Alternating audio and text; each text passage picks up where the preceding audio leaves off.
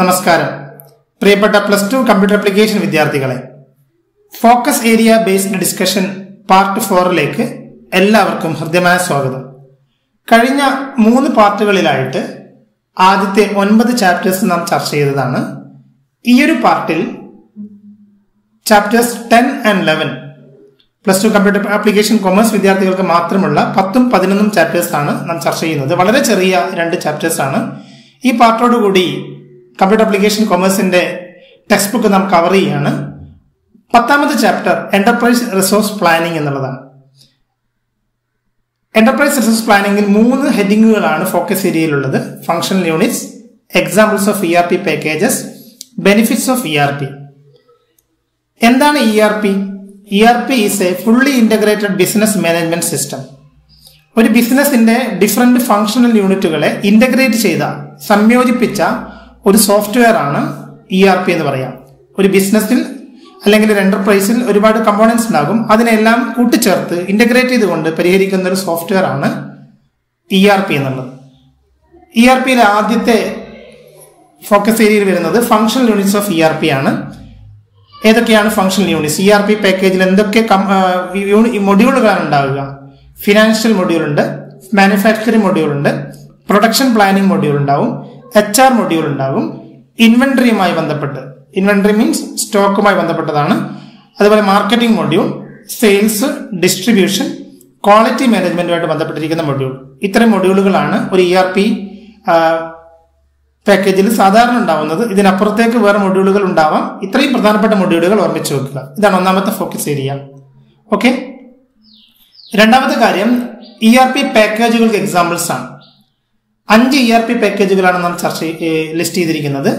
ഏറ്റവും പോപ്പുലറായ ഒറാക്കിൾ ആണ് ഒന്നാമത്തെ E R P package one of the most popular E R P package ആണ്. Database management സിസ്റ്റത്തിന് വളരെ പോപ്പുലർ ആണ് ഒറാക്കിൾ ഒറാക്കിൾ ഇ ആർ പിയും പ്രൊവൈഡ് ചെയ്യുന്നുണ്ട്.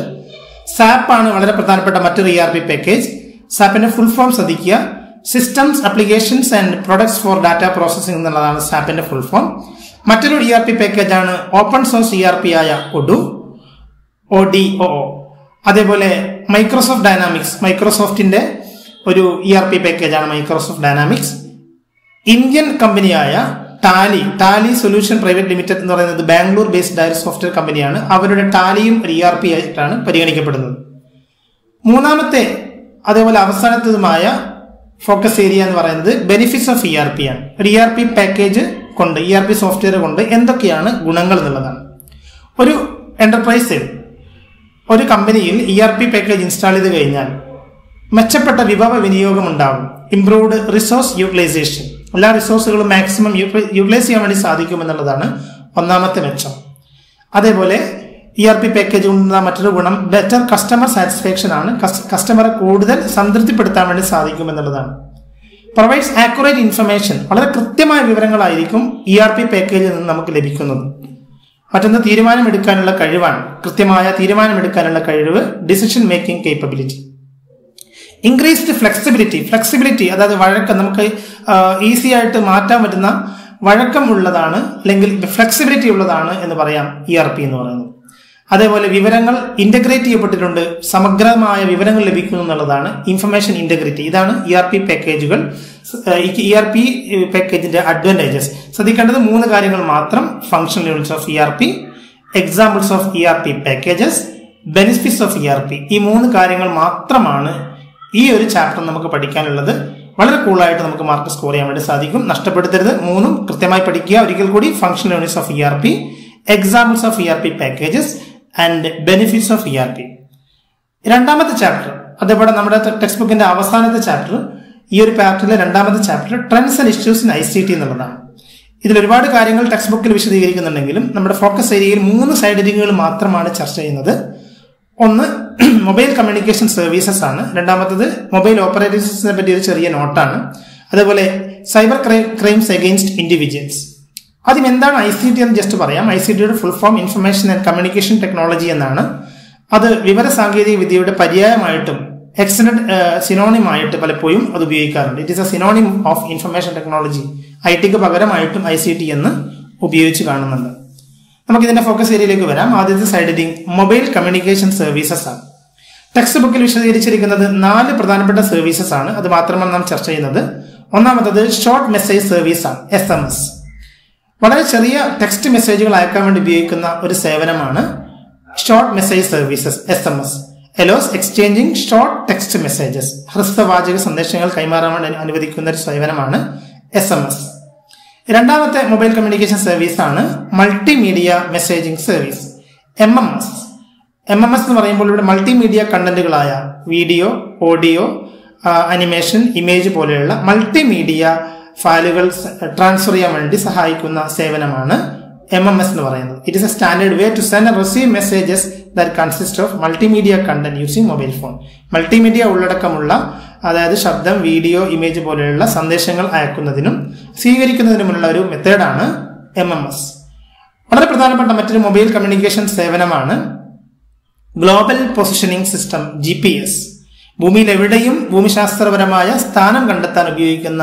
സാറ്റലൈറ്റ് അധിഷ്ഠിത നാവിഗേഷൻ സംവിധാനമാണ് ജി എന്ന് പറയുന്നത്. It's a satellite based navigation system that is used for locating a geographical position anywhere on earth okay മറ്റൊന്ന് സ്മാർട്ട് കാർഡ് ആണ്.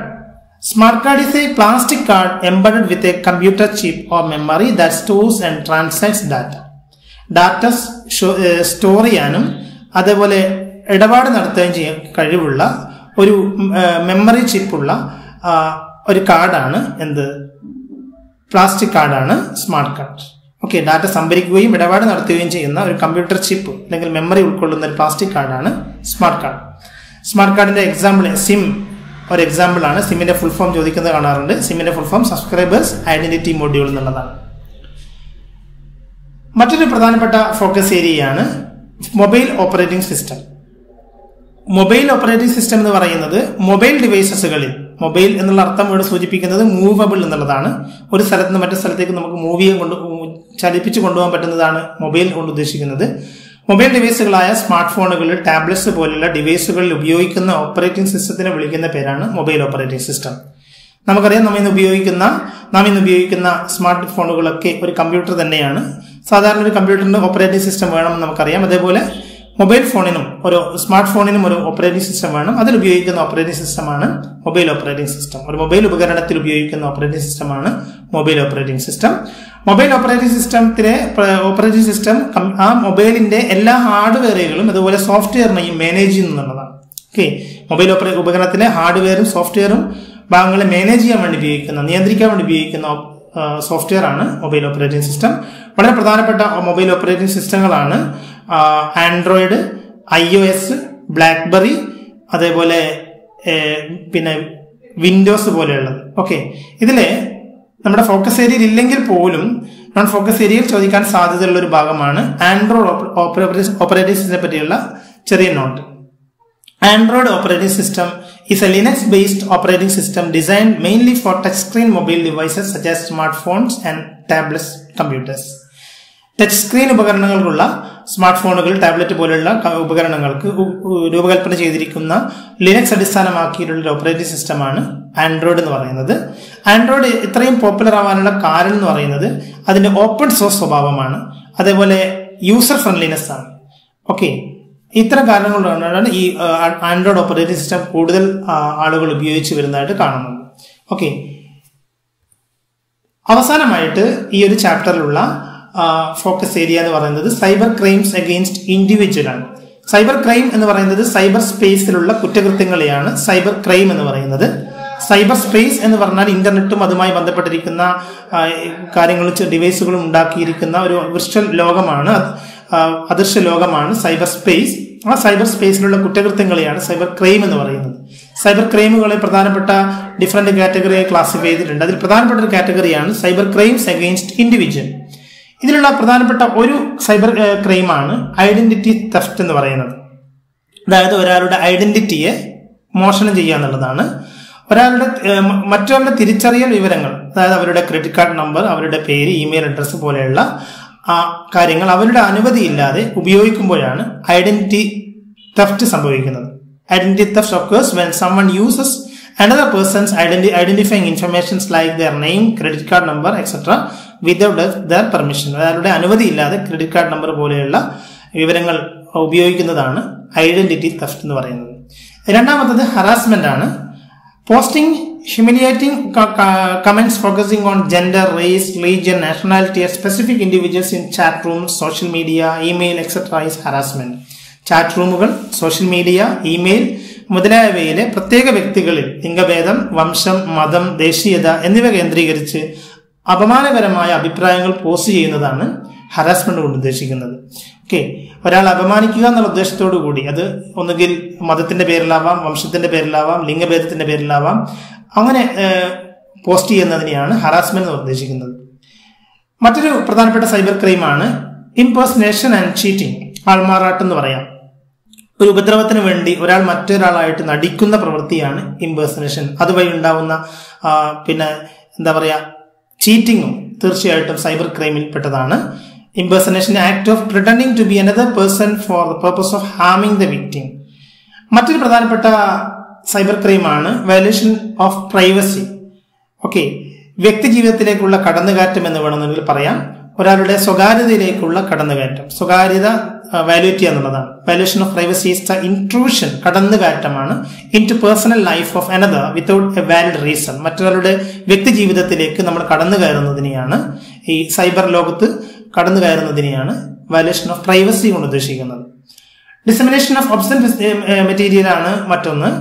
അശ്ലീല കാര്യങ്ങൾ പോസ്റ്റ് ചെയ്യൽ. പ്രധാനപ്പെട്ട ഒരു cyber ക്രൈമാണ് posting of sense materials in one of the important is one of the important cyber crimes today okay ഇത്രയും cyber ക്രൈമുകളാണ് cyber crime against individual ആയിട്ട് കണക്കാക്കിയിരിക്കുന്നത്. അപ്പോൾ ശ്രദ്ധിക്കേണ്ട കാര്യം മൂന്ന് ഹെഡിങ്ങുകൾ മാത്രമാണ് ഫോക്കസ് ഏരിയയിലുള്ളത് മൊബൈൽ കമ്മ്യൂണിക്കേഷൻ സർവീസസ് അതിന്റെ എക്സാമ്പിൾ ആണ് S M S M M S G P S and smart card അതേപോലെ രണ്ടാമത്തെ കാര്യം മൊബൈൽ ഓപ്പറേറ്റിംഗ് സിസ്റ്റം മൊബൈൽ ഡിവൈസിൽ ഉപയോഗിക്കുന്ന ഓപ്പറേറ്റിംഗ് സിസ്റ്റമാണ് രണ്ടാമത്തെ ഫോക്കസ് ഏരിയ അവസാനമായിട്ട് ഒരു വ്യക്തിക്കെതിരെയുള്ള സൈബർ കുറ്റകൃത്യങ്ങളാണ് മൂന്നാമത്തെ ഫോക്കസ് ഏരിയ.